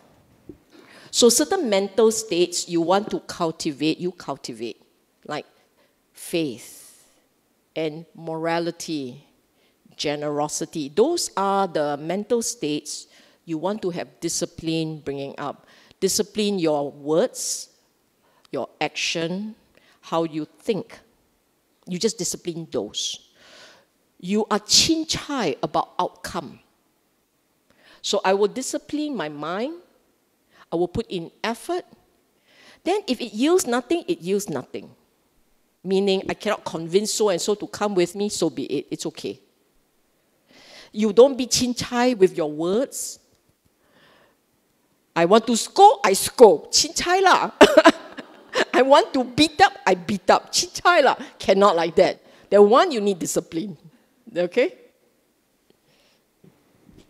Thank you. The second one. In situations of a caregiver to bedridden elderly who takes care of her almost 24 7, there is daily stress and fatigue. How does a person in such situations deal with it according to what you have just shared?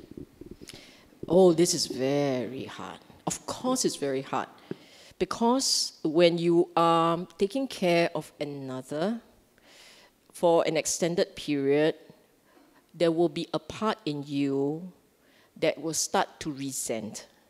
It is normal. So the first thing you need to do is forgive yourself. If you start to feel agitated, your feelings start to get a bit um, negative, just forgive yourself. The first thing you have to forgive is yourself. It's okay, you've done your best, you are doing a great job. Secondly, is you must always find a bit of time to rest. You have to take time out. You have to take time out because you need time for yourself. Most of us, when we are very fixated, very obsessing about another, at some point the desire will arise. Desire. And this desire can shoot in all angles. It need not be standard. Uh. It can shoot in all angle. It can shoot in why can't you improve? Why can't you be reasonable? Why this? Why that? It will start to ask. When that part of the mind starts, right? When the question starts, why can't you be this? Why must I be that? Why is so and so not helping? When that question starts, you have to take you have to take leave. Eh? You have to walk out. Because when, a, when the question, when, the, when your, your mind start talking in that way, the, the, every conversation that you have within is going to be a bad one. You will forget why you took on the responsibility in the first place. You took it on because of love, because of duty, because of compassion, because of sympathy or empathy. Those are very powerful and wholesome mental states. When you start asking why this, why that, those mental states you will forget. So, what I would advise is take a lead, take, take a break, go to do, do something you like, go to a monastery, go to watch a movie, whatever. Just take a break. Take a deep breath while you're at your break, and then you ask yourself, why am I doing this? Revisit this original question why am I doing this? Because I'm so and so child. But why are you doing this? Because I'm grateful?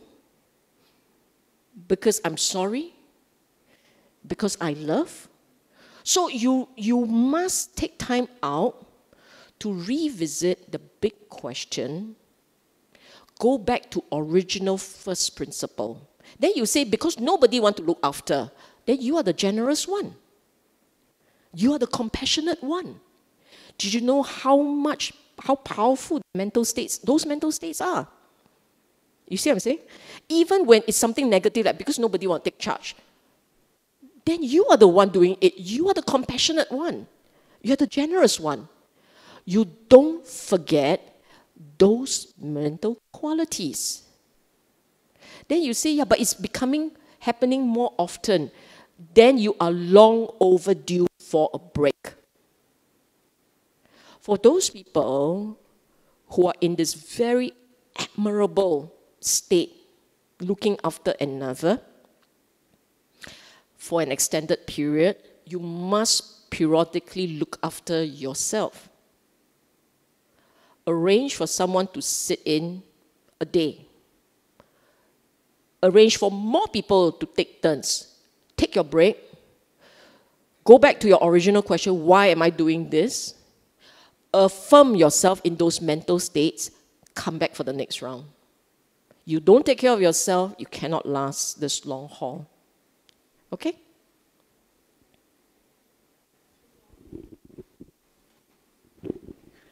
Sorry, two more questions.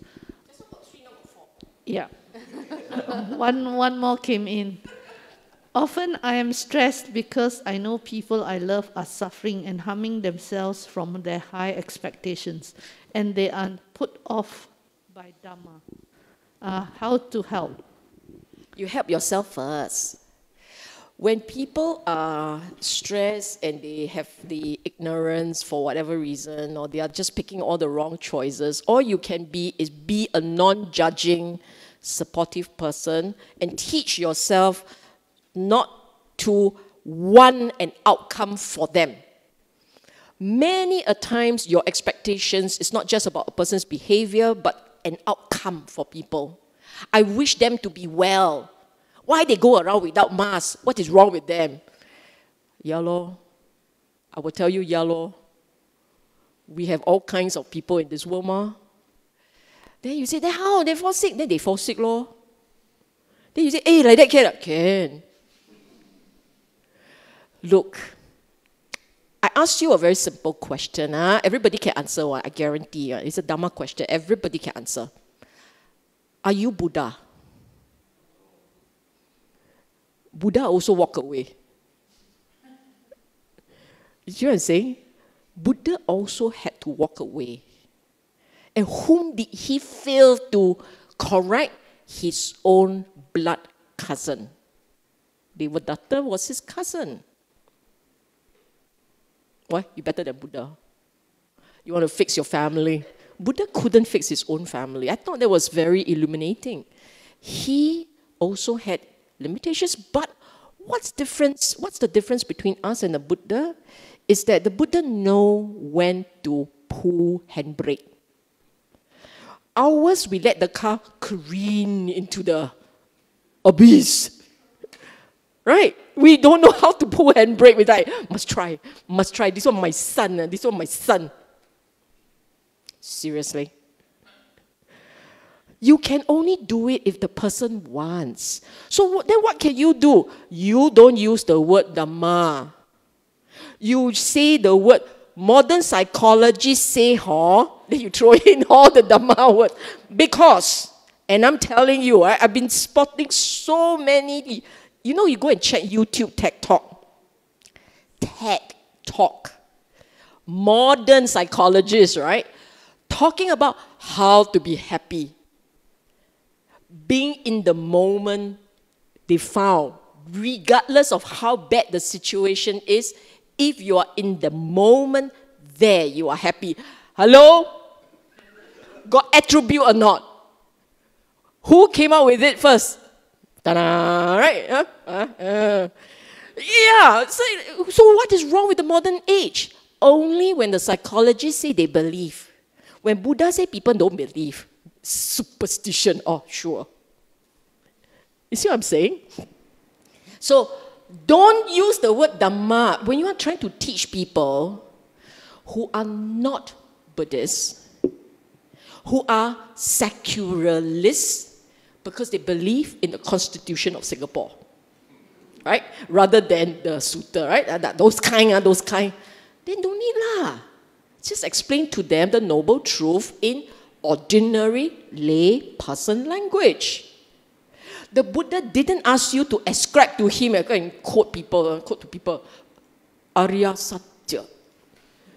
He got asked you to ensure pirated man don't have. He just wants people to understand and be happy. Okay? So you can quote modern psychologists, explain to them the science of the mind. They will listen to science. Okay? Thank you. Okay, we will take this last question. Please, no more questions online. Thank you, Sylvia, for the talk. Out of humility, respect, and gratitude, there are people whom we cannot simply dissociate with. Sometimes the conversations with these people can turn really negative, while I'm not attained, I've not attained the state of being a bottomless dustbin. What other ways can I manage such relationships? Don't talk don't have a conversation. Just smile at the person. Must you talk? If you find no joy in a conversation, Don't talk. Seriously. Then the fellow say, want to talk, then let the fellow talk. Then you tune the fellow out. No, I'm serious. I am serious. I have encountered people where they are always talking about themselves. They can't help it. Then you just like, okay, they're so happy. Then you rejoice with them. Oh, I'm so happy for you. You're so happy. I, I, I, I'm sorry if I sound rather uh, disrespectful. It's not. I'm serious. When you are in a situation when someone don't make sense, they have a lot of views, and their views are not very wise, very conducive, you either walk away because sitting down there is just going to stain your mind. It's staining your mind. It's building resentment. You smile very sweetly and say, I need to get coffee. Then you walk away, okay? You just be a coffee addict. So that's one. Or if you cannot walk away, then you sit down there and in your mind you can chant prayer. Iti piso bhagawa arahan. So that you're not engaging in this conversation, okay? You're not just listening to this person. Or, or you can calm this person down. If you need to calm this person, lor, mm, uh-huh. You know, our Chinese language has so many useful words. Huh, huh, hmm, uh-huh, oh, uh, like this, okay? Get your repertoire ready. They don't need, they don't need you to give wise feedback. Those uh, non-intelligible words, they are very happy. They just need the acknowledgement. Okay? Then you say, I feel compelled to talk. Remember what I said, fix your own mind first. It's because you feel compelled to react. Don't feel compelled to react. Don't feel compelled to give in to akusala. Don't feel compelled by that feel compelled. Train yourself to feel this awareness of keeping mind clean. So you need to vaccinate your mind, not against COVID, but against akusala. Build sufficient strength to protect it. Okay? Okay, we're done, right? As always, uh, we will do this first. Today, we actually have to share merits with two others, but just as a reminder to everyone, in gratitude, and you know what I've said here very, very often that we want to honor the Buddha's teaching by being wholesome and giving. And please support uh, charity or spiritual organization more importantly, is we must not take for granted the blessings of this life. That others before us had done right, so we are in this wonderful state, this blessed state. We must set the right conditions for the ones that come after.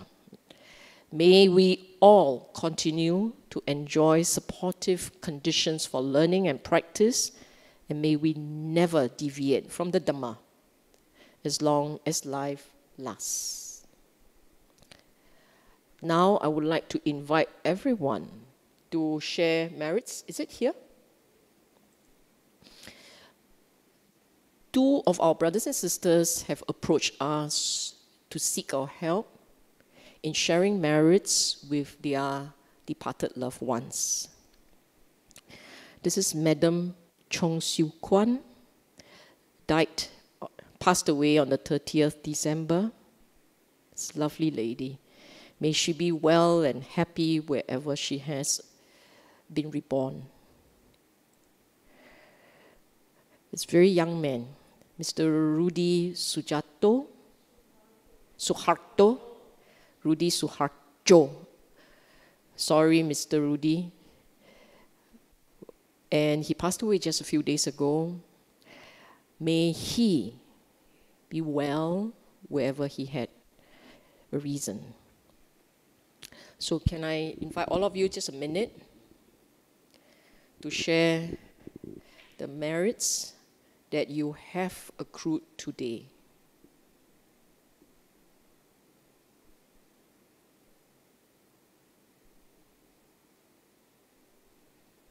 May they both be well and happy.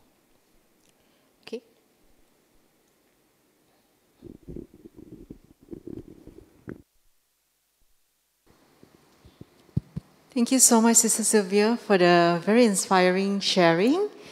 Uh, shall we all say three sadhu? Sadhu, sadhu, sadhu. Thank you, Sister Sylvia.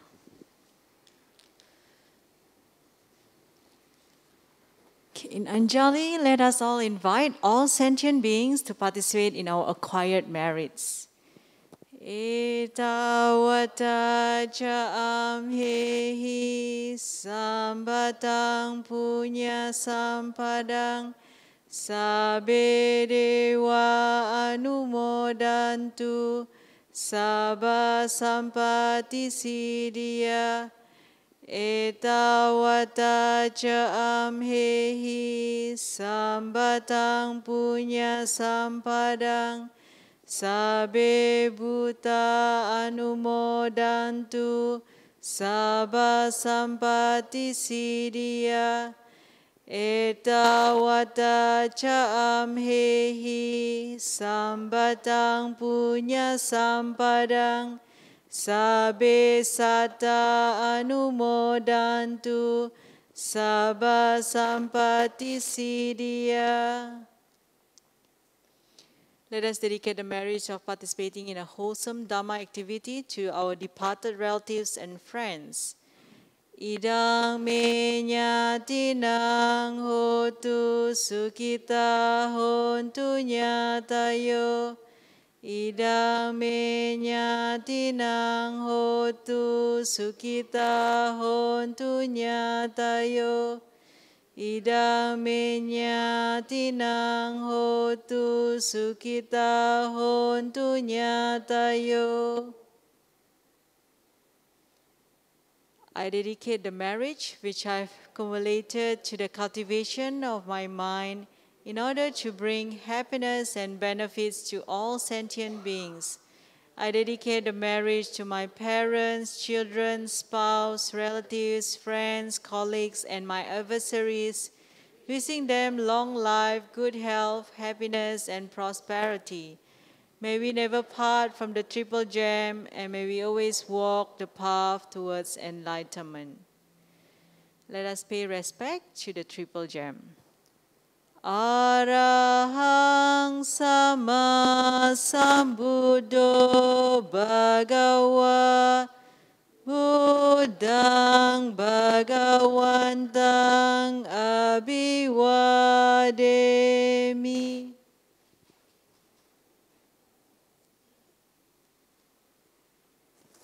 Swakato Bhagavata Dhammo Dhammang Namasami.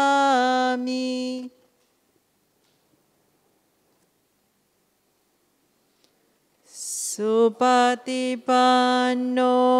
Bhagavato Sawaka Sangho Sanggang namami Sadhu, sadhu, sadhu.